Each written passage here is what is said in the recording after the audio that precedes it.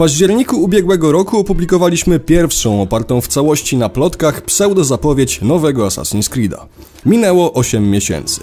Ubisoft wciąż nie pokazał gry w akcji ani nie zdradził żadnych konkretów, jednak oficjalnie potwierdził, że tytuł powstaje i że zostanie zapowiedziany już niedługo, bo na tegorocznych czerwcowych targach E3.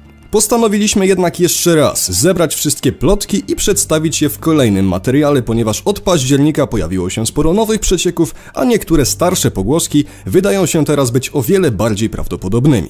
Martwi mnie tylko najnowsza plotka, zgodnie z którą już w ten piątek, to jest 19 maja, Ubisoft miałby zdradzić kilka szczegółów, by jeszcze bardziej podgrzać atmosferę. Mam nadzieję, że ta informacja nie okaże się prawdziwa, ponieważ gdyby tak było, niniejszy materiał bardzo szybko stanie się nieaktualny. Cóż, zaryzykujemy. Zapraszam na drugą, opartą w całości na przeciekach, plotkach i pogłoskach, pseudo-zapowiedź Assassin's Creed Empire, czy może raczej Origins, ale o tym za chwilę.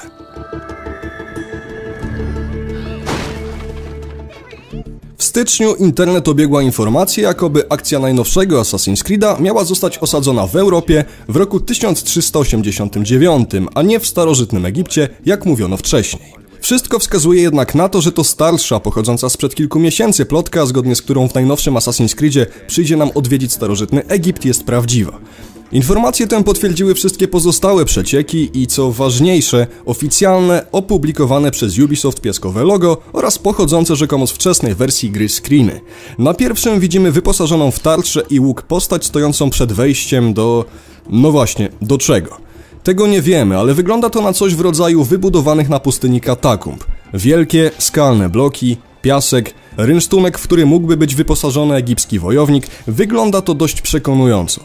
Na drugim screenie widzimy tą samą postać, tym razem przemierzającą rzekę, być może Nil, za pomocą łodzi. Wygląd łodzi oraz panorama widniejącego w tle miasteczka także zdaje się potwierdzać Egipt jako miejsce akcji. Poprzedniej zapowiedzi nazywałem najnowszą produkcję Ubisoftu Assassin's Creed Empire, a w kwietniu taki właśnie tytuł potwierdził aktor David Ben. Najnowsze przecieki wskazują jednak na to, że Empire było tylko tymczasowym, roboczym podtytułem. Ostatecznie dzieło Ubisoftu przemianowano ponoć na Assassin's Creed Origins, czyli początek. I nazwa ta nie jest przypadkowa, ponieważ gra ma opowiadać o pierwszej gildii asasynów, o narodzinach zakonu. Na początku maja serwis WWG, powołując się na zaufane źródła informacji w Ubisoftie, zdradził, że podczas rozgrywki odwiedzimy nie tylko Egipt, ale także Grecję oraz Rzym. Jednak kilka dni później pojawiła się inna wersja, zgodnie z którą starożytna Grecja faktycznie pojawi się w serii, jednak nie w najbliższej odsłonie. Twórcy planują ponoć trylogię i Ateny oraz okolice miałyby stanowić miejsce akcji drugiej części. Warto o tym pamiętać, bo najprawdopodobniej równocześnie z Origins powstaje też sequel, a może i trzecia część osadzona w Rzymie. Bohaterem drugiej części trylogii miałby być Izraelita podobny wizualnie do znanego z jedynki Altaira. Z tego samego źródła pochodzi także informacja, jakoby Ubisoft prezentował Assassin's Creed Origins na zamkniętych pokazach za pomocą filmu, w którym pojawiają się także lokacje azjatyckie oraz drugowojenna Francja. Do tych rewelacji osobiście podchodzę jednak sceptycznie. Mocno liczę na to, że potwierdzi się inna plotka, zgodnie z którą do serii powróci solidny wątek współczesny osadzony w laboratoriach korporacji Abstergo. Jeżeli to prawda i twórcy poradzą sobie z tematem lepiej niż w trylogii lub jak kto woli pentalogii Desmonda Milesa, to jestem jak najbardziej za. Pojawi się wiele nowych postaci, ale powrócą i te znane z poprzednich odsłon serii, czyli Rebecca, Sean i William. Twórcy chcą podobno unaocznić graczowi, jak wielki wpływ na teraźniejszość ma odwieczna walka asasynów i templariuszy. A skoro już jesteśmy przy czasach współczesnych, protagonista będzie korzystał z nowej generacji animusa, która ma na bieżąco tłumaczyć każdą wypowiedź. Innymi słowy, wszystkie postacie będą mówiły po angielsku. Pod względem wizualnym będzie to jednak bezpośredni następca urządzenia znanego z poprzednich odsłon serii, a nie gigantyczne mechaniczne ramię zaprojektowane na potrzeby filmu.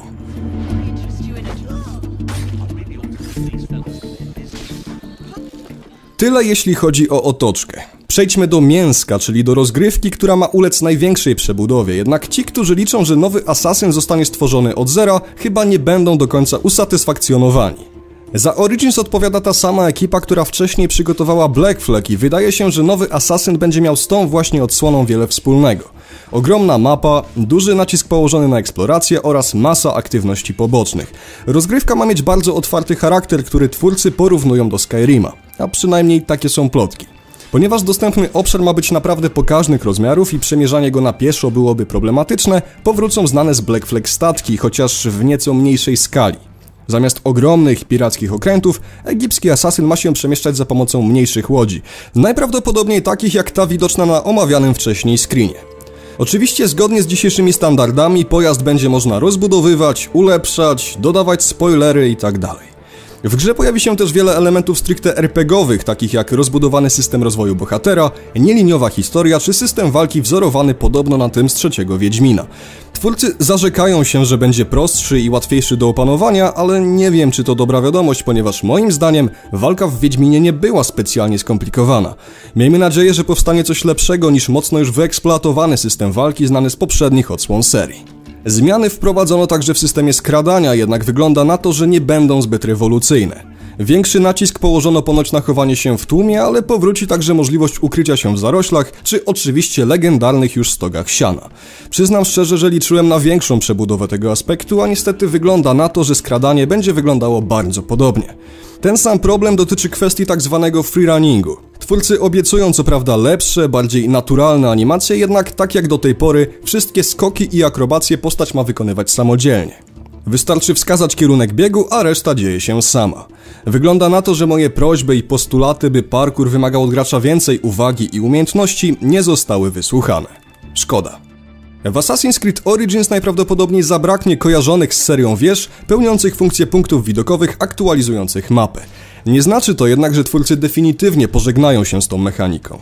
Wysokie budynki najprawdopodobniej zastąpi orzeł o ograniczonym zasięgu działania. Wiele wskazuje na to, że będzie to działało mniej więcej tak jak Sowa w Far Cry Primal czy Drone w drugim Watch Dogs.